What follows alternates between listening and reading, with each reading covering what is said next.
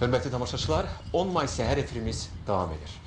Biz ümummilli lider Heydər Əliyevin Azərbaycançılıq ideyası, onun Azərbaycan mədəniyyətinə, incəsənətinə, elminə verdiyi töhfələr, bu sahədə göstərdiyi xidmətlərlə yanaşı, biz həmçinin onun Azərbaycan idmanına verdiyi dəyəri və göstərdiyi qayğını da xüsusi qabartmalıyıq və bildirməliyik ki, həmin qayğı, həmin göstərilən münasibət bu gün də davam edir. Bu haqda söhbətlərimizi efirimizin qonağı ilə sizinlə bölüşəcəyik. Qonağımız isə Gənclər və İdman Nazirliyinin şöbə müdiri, ikiqat dünya və olimpiya çempionu Fərid Mansurovdur. Sabahınız xeyir Fərid, xoş gəlmisiniz.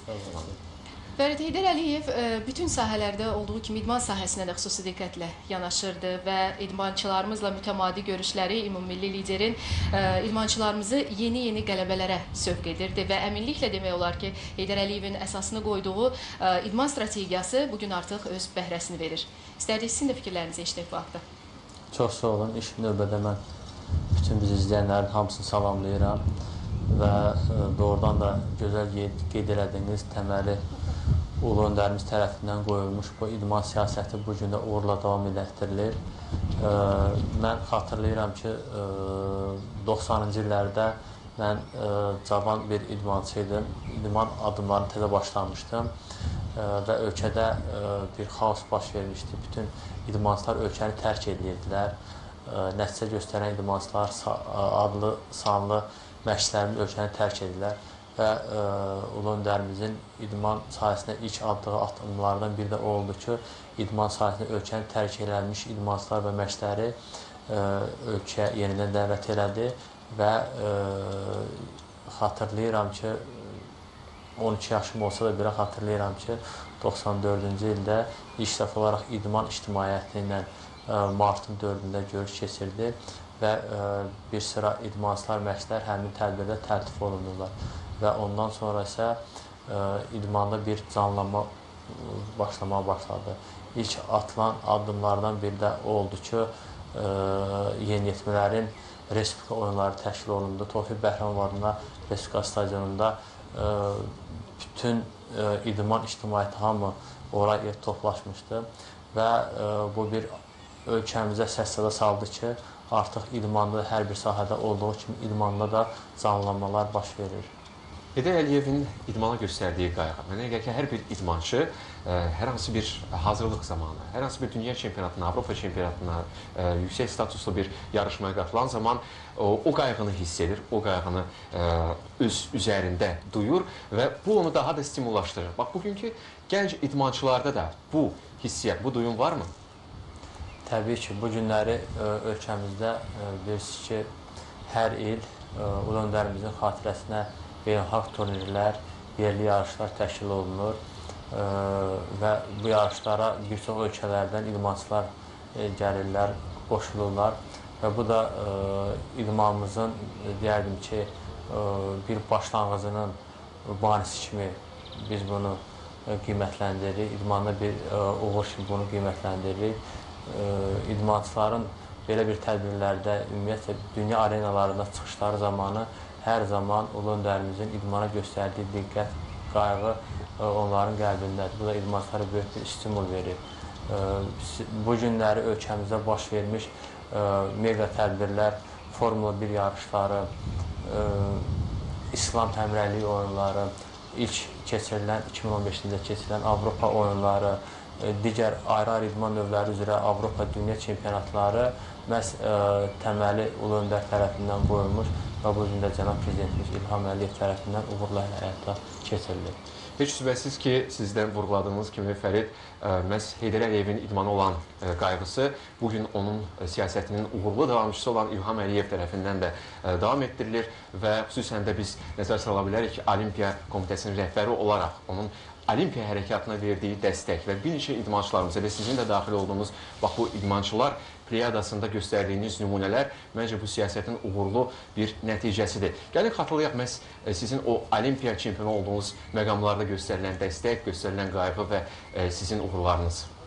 Cənab prezidentimiz ə, İlham Əliyev Milli Olimpiya Komitəsinin prezidenti seçiləndən sonra mən bir gənc idmançı idim və yadımda ki, Olimpiya Komitəsi tərəfindən perspektivli və nəticə göstərmiş idmançılara bir maaş tətbiq olunurdu həmin vaxt bir perspektivli idman, idmançı kimi mən də o, o, o siyahıda var idim. Və bu gün də mən bunu fəxrlə deyirəm ki, ə, həmin il mənə göstərilən diqqət 15 yaşında bir gənc idmançıya göstərilən diqqət qayğıdır ki, bu günləri mən ə, iki qat dünya çempionu və olimpiya çempionu kimi ə, çıxış edirəm və ə, ölkə rəhbərliyinin idmana göstərdiyi, idmançılara göstərdiyi diqqət qayğının nəticəsidir ki, mən bu günləri Gənclər və İdman Nazirliyində İdman şöbəsi müdiri kimi çalışıram. Ümumiyyətcə 97-ci ildən bir olimpiya gözəl qeyd edək ki, olimpiya hərəkatı başladı. Bizim ə, regionlarda ə, bu gün də davam etdirilir o ə, hərəkat. Olimpiya kompleksləri tikildi və regionlarımızda idman infrastrukturu şərait yaradıldı və bu da ona ə, səbəb oldu ki, artıq ə, Bakı ilə rəqabətdə bizim rayonlar da qoşulur və bizim bu günlər fəxrlə deyə bilirik ki, dünya arenalarında qazandığımız medallar sırasında tək Bakı yox, bizim digər regionlardan olan idmançılarımız da var. 1996-cı ildə Atlanta Olimpiyadasında qazanılan bir gümüş medalımız 2016-cı ildə 18 medala gəlib çatmışdır. Təbii ki, bu da ona deməyə əsas verir ki, Azərbaycanda ölkəmizdə idmanın inkişafı hansı səviyyədədir. Ə, həqiqətən də ə, bizim idmançılar ə, bu diqqəti o, ə, həmişə hiss edirlər özlər, üzərlərində və çalışırlar ki, dünya arenalarında qatıldıqları yarışlarda ə, ölkəmizi layiqincə təmsil eləsinlər. Bu da bizə ə, onu deməyə əsas verir ki, ölkəmizdə bayaq qeyd etdiyim kimi böyük tədbirlər keçirilir və bu tədbirlər də bilirsiniz ki, bir səs vermə yolundan keçirilir və Beynəlxalq Olimpiya Komitəsi, eləcə də Avropa Olimpiya Komitəsinin ölkəmizə etimadı o qədər yüksəkdir ki, bu yarışların təşkil olunmasında Azərbaycanın səsi öndədir və bu günlərdə biz tam arxençiliklə deyə bilərik ki, rahatlıqla deyə bilərik ki, artıq Azərbaycan ə, dünya arenalarında bir idman ölkəsi kimi də tanınmaqdadır. 2017-ci ildə ə, ölkəmizdə professional boks üzrə ə, WBC-nin konqresi keçirilmişdi və ora tanıdığımız adlı-sadlı idmançıların professional boksçular təşrif buyurmuşdular və həmin tədbirdən bir hadisəni danışmaq istərdim ki, həmin idmançılardan biri səhər qatışı zamanı bizim vətəndaşlardan ə, yaxınlaşırlar, ondan bir xatirə şəkli çəkdirirlər və axşam görüşündə o bizə deyir ki, o çox təəccüblə bunu ifadə elədi ki, mən bilməzdim ki, başda da bizi Azərbaycanda da bizi tanıyırlar. Təbii ki, ölkəmizdə keçirilən İslam həmrəylik oyunları bütün İslam dünyasına səs saldı.